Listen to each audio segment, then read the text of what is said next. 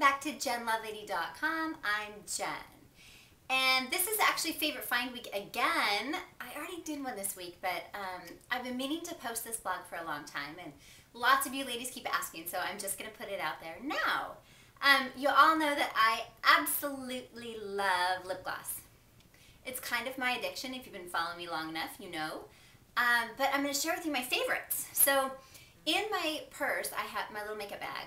I have tons of these. So these are my little lip glosses. And I have like 15 of these in my, and that's kind of a lot. You don't really need that many. But the reason I like this so much, these are from Sephora.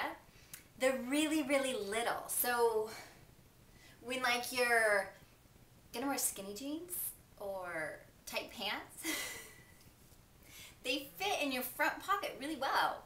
Like, so if you want to take your purse into church or take it into, I don't know, wherever you go, um, they fit really nicely. So see how little and compact they are? I love it.